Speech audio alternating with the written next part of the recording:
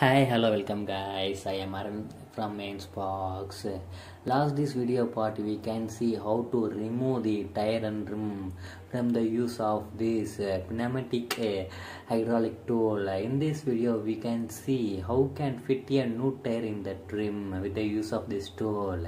It's very easy. You can follow through the process in that video.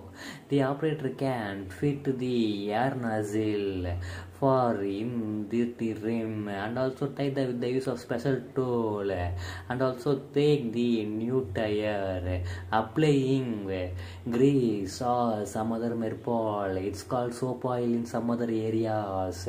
He can apply both side.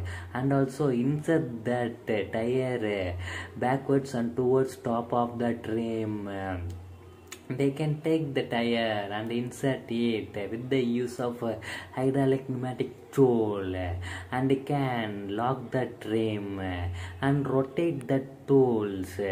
In that gauge he can lock it towards clockwise and also rolls that machines. The tire easily fit to the rim. It can be so easy with the rim locking method. It's reduce the manpower and also manpower strength and also avoid man manpower injury. It's very simple method. You can see that. Thereafter he will fill the air. It's tubeless tire. He can fill the full fill of the air and have to go to put that tire in that vehicle.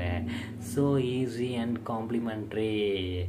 If you want some more videos uh, watch again. Take care. Bye